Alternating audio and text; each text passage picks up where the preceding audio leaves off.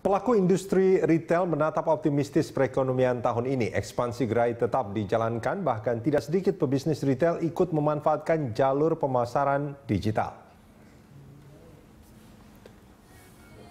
Ketua Umum Asosiasi Pengusaha Retail Indonesia Roy Mande menyatakan pelaku industri perlu membangun sinergi antara gerai konvensional dan online. Pasalnya lapak e-commerce dapat menjangkau lebih banyak konsumen. Selain itu, jalur digital akan membantu pelaku retail menjangkau konsumen millennials yang tanggap teknologi informasi. Aprindo optimistis bisnis retail akan lebih bergairah tahun ini.